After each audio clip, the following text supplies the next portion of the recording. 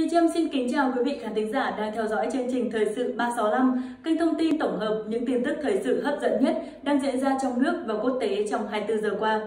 Quý vị đừng quên bấm nút đăng ký kênh và bật chuông thông báo để cùng chúng tôi cập nhật những tin tức hấp dẫn nhất hàng ngày. Và ngay bây giờ, xin mời quý vị đồng hành cùng chúng tôi điểm qua những tin tức đáng chú ý có trong bản tin ngày hôm nay.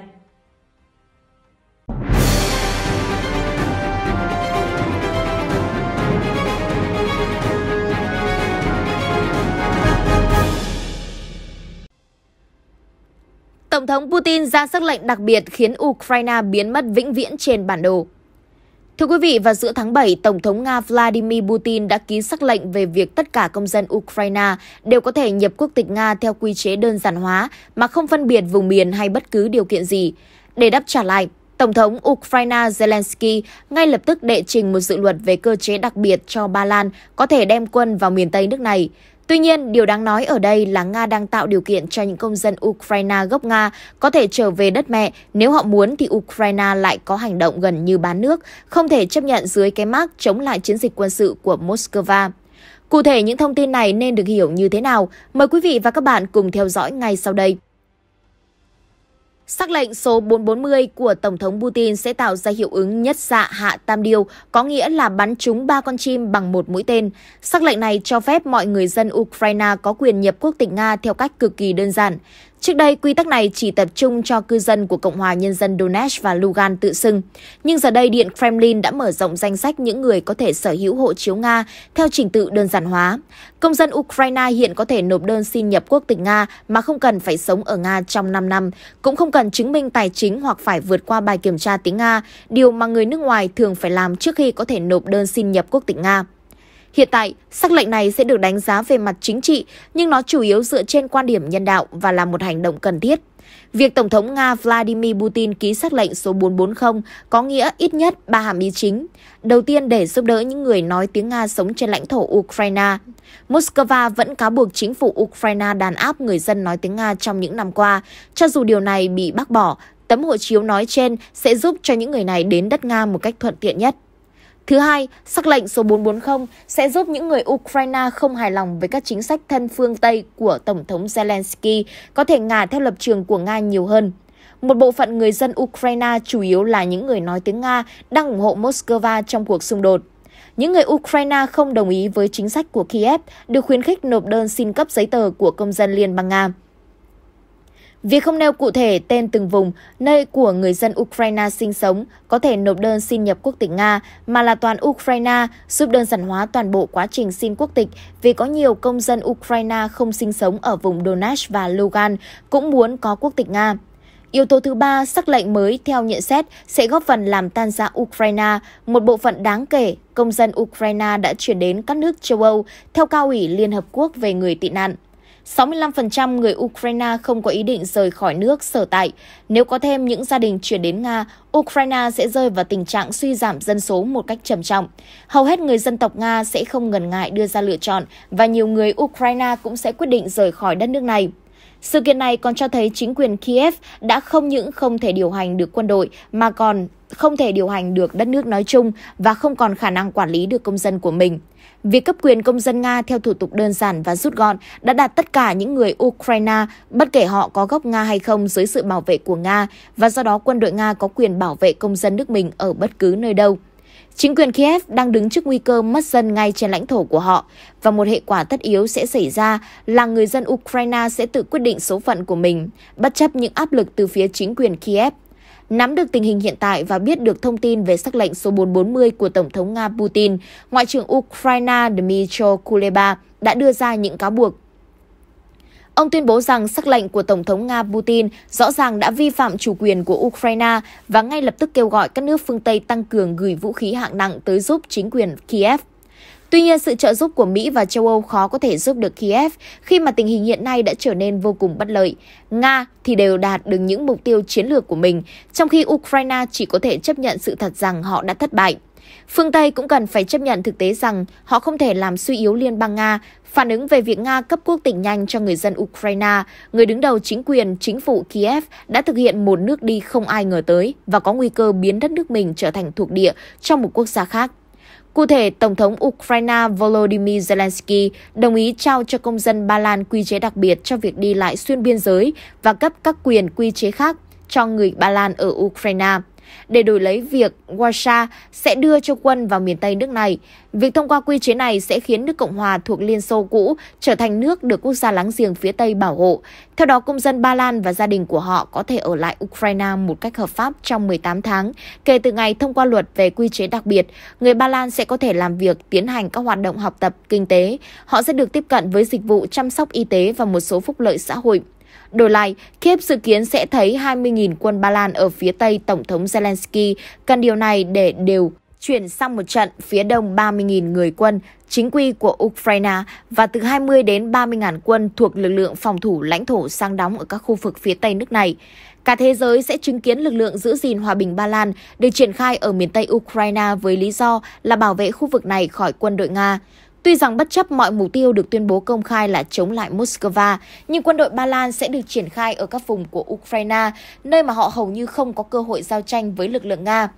Nhiều khả năng Ba Lan sẽ không tự giới hạn bản thân trung thành với các điều kiện đã thỏa thuận với Kiev liên quan đến việc đưa quân vào Ukraine mà sẽ cố gắng chiếm một phần lớn nhất có thể diện tích lãnh thổ của nước này.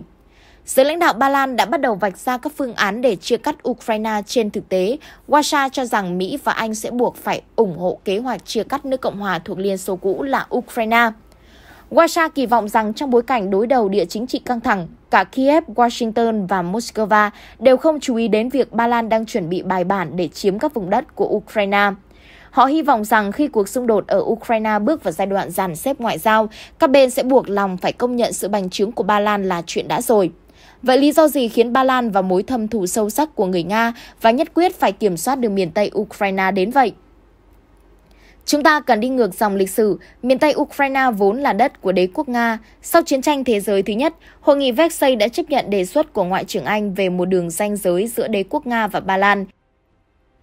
Hiệp ước năm 1907 được ký kết giữa Sa Hoàng Alexander I và Hoàng đế Pháp Napoleon cũng đã xác định đây là biên giới giữa Nga và châu Âu bị Pháp chiếm đóng. Theo nghị quyết của hội nghị Vexay thì phía đông đường Kherson là lãnh thổ của đế quốc Nga, về tây đường này là lãnh thổ Ba Lan. Sau cuộc chiến tranh Ba Lan Xô Viết vào năm 1919 đến năm 1921, Hồng quân Nga Xô Viết bị đẩy lùi. Năm 1939, Hồng quân Nga Xô Viết bị đẩy lùi mãi cho tới năm 1939. Hồng quân Liên Xô tấn công miền đông Ba Lan, khôi phục đường biên giới quốc gia đã được Hiệp ước Vexay xác nhận trong quy định đường Kherson sau khi chế độ xã hội chủ nghĩa của các nước Đông Âu sụp đổ. Trong đó có Ba Lan và Liên bang Xô Viết tan rã. Chính quyền Ba Lan luôn đưa ra yêu sách đòi lại một số tỉnh của Ukraine cũng như các tỉnh miền Tây của Belarus. Để đối phó với Nga, Tổng thống Zelensky đã lợi dụng vấn đề này để lôi kéo Ba Lan vào cuộc chiến với những lời hứa hẹn về tương lai sẽ trả cho Ba Lan số tỉnh này. Lợi dụng tình hình xung đột Nga-Ukraine và việc Kiev đang tìm kiếm đồng minh trí cốt, Ba Lan lại muốn biến cái không thể thành cái có thể, nghĩa là tại áp đặt ách đô hộ của họ lên ba tỉnh nói trên mà họ đã buộc phải trả lại cho lên Liên Xô vào thời kỳ trước. Về phía Ba Lan, đây là một món hời đối với họ và cũng là một cơ hội ngàn năm có một. Nhưng để tiếp tới mục tiêu xâm chiếm ba tỉnh miền Tây Ukraine, họ cũng có một hành động hữu hảo với Ukraine kiểu có đi có lại. Đó là chấp nhận đề xuất của Ukraine về việc cấp cho người dân nước này một quy chế pháp lý đặc biệt, tương tự như luật của Ba Lan về hỗ trợ công dân Ukraine. Theo đó, những người Ukraine buộc lòng phải rời khỏi đất nước và có ý định ở lại Ba Lan sẽ có thể ở lại nước Cộng hòa này một cách hợp pháp trong 18 tháng kể từ ngày 24 tháng 2 năm 2022. Sau đó họ sẽ được cấp giấy phép tạm trú trong thời hạn 3 năm.